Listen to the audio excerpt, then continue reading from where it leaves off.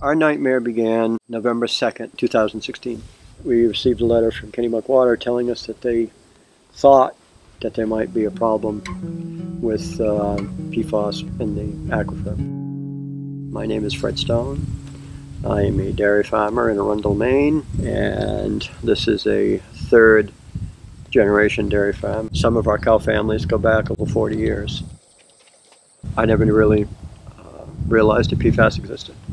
My name is Patrick MacRoy. I am the Deputy Director at the Environmental Health Strategy Center. We've been around now for over 15 years working to try to protect people from toxic chemicals as well as promote safer alternatives. PFAS became a big story in Maine when we learned the details of what happened at Stone Ridge Farm.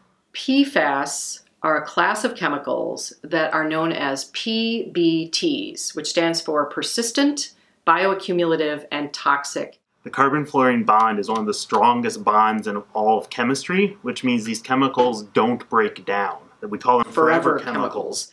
They have very long half lives in the environment and they have long half lives in our bodies as well. If you're exposed to a large amount of PFAS, that may be in your system for literally decades to come. They have been linked to a number of different health problems, including a couple forms of cancer, birth defects. Increased cholesterol associated with liver and thyroid damage. They can be associated with uh, some learning difficulties and other problems in kind of normal child development.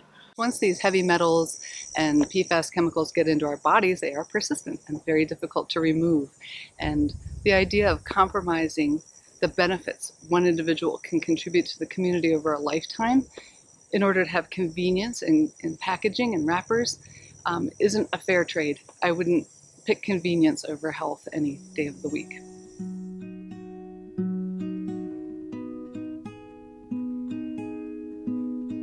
We went to the state with this problem, not the other way around. At that time, uh, it was decided that we have two choices.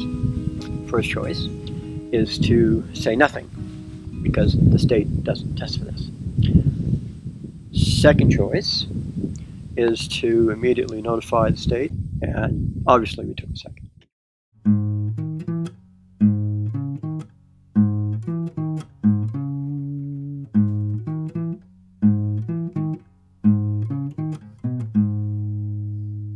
We had our blood test done, and um, the number should be four. You, whoever else, your number should be right around four, give or take, of this contamination. My daughter is 20. Uh, my wife is 91. And my number is 111. So we're in the situation that we're in with having toxic chemicals in the environment, in our bodies, in our food supply, because we haven't had strong environmental legislation. State Representative Jessica Fay, and I represent House District 66. In this past legislative session, Maine actually passed a bill to eliminate PFAS in food packaging. And the governor signed a bill, and that's now the law in Maine. I was really happy to be the sponsor of LD 1433, the Safe Food Packaging Act. Essentially, what the bill does is says that if you have over a billion dollars worth of sales, you can't wrap your food in packaging that has PFAS or phthalates and sell it in the state of Maine. This is a very important step, not only because food packaging can contaminate the food itself, but also because the packaging can be composted where it then ends up back onto the land to potentially contaminate crops. I am a licensed clinical social worker. I testified last spring on the PFAS legislation because I was worried about the health of my family and all the other families in the area when we're insulted by chemicals, PFAS, lead, that kind of thing. It changes the behaviors of children and it makes us all a weaker society. There's a lot more that should be done around regulating toxic chemicals in the environment here in Maine and at the federal level.